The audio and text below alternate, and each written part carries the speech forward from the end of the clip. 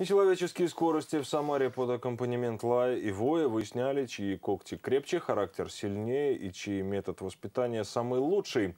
Гонки на собачьих упряжках снова состоялись в поселке Управленческом. События, которые традиционно провоцируют в социальных сетях бум на фотографии с собаками. Их заливают гигабайтами. Не только участники, но и те, кто просто пришел посмотреть.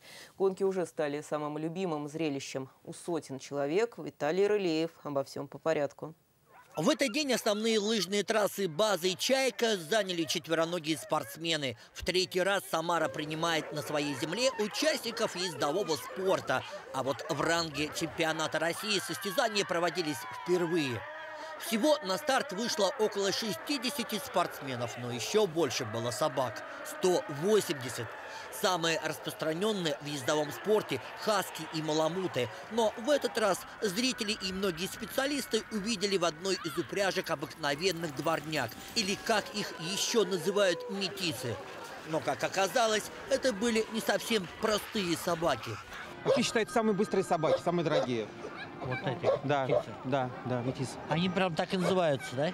Ну, а есть разные разновидности. Есть норвежские метисы, вот. Это обычные метисы вот такие, сборные такие. Вот. То есть многие мировые, мировые гонщики гоняются на этих собаках. 5, семь с половиной, 10 километров. Такие были дистанции. Каждый выбирал для себя свои расстояния. С одной-двумя собаками в программе скиджоринг бежали 5 километров, а вот упряжки в 4 или 6 собак преодолевали расстояние в семь с половиной и 10 километров. Ну, в упряжке, наверное, тяжелее идти, потому что все равно нужно собакам помогать. В гору это ты всегда работаешь. Конечно, так ты тоже помогаешь. Ну, как бы им легче тянуть твой вес, чем вот упряжке. Ну и работа, дрессура. Собаки должны быть воспитанные, когда в упряжке. Скорость упряжек из четырех и восьми собак порой достигает 35 километров в час. Нужно иметь немалый опыт и самообладание, чтобы удержаться на крутых поворотах и не забыть подбодрить на подъеме собак. И самое главное, не разогнаться и не разбиться при спуске.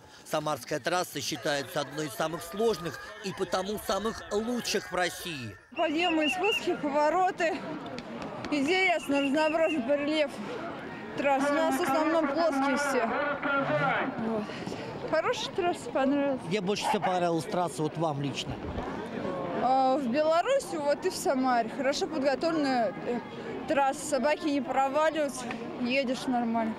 Чтобы выявить лучших, понадобилось два дня. Результаты в таких состязаниях не всегда предсказуемы.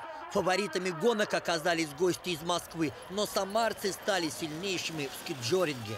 Победители получили путевки на чемпионат мира. Виталий Рылеев, Александр Ерофеев. Новости губернии.